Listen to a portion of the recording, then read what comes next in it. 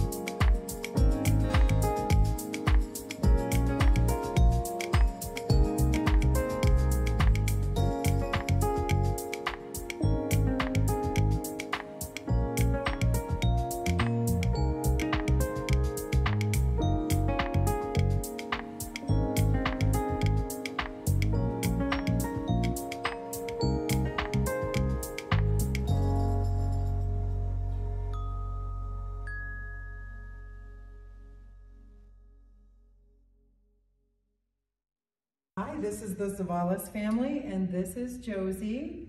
Jozie has been at the 15-day board and train with Bulletproof, and she's a new dog. Uh, we researched a lot of places, and the testimonial that you're seeing is what we watched, and they're all true. She is a new dog, and we couldn't be happier with Quentin and Casey, and they love her, and, and loves she's them. amazing. Thank you, guys. He didn't say anything. No, that, that was all I said.